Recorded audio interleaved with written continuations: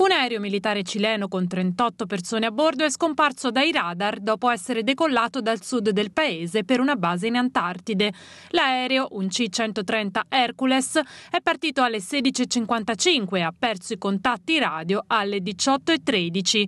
La conferma è arrivata dall'aeronautica cilena che ha spiegato che 17 a bordo erano membri dell'equipaggio e gli altri 21 passeggeri. In un tweet anche il presidente Sebastian Piniera si è detto sgomento e ha affermato affermato che sarebbe volato a Punta Arenas insieme al ministro degli interni Gonzalo Blumel per incontrare il ministro della difesa Alberto Espina e monitorare la situazione.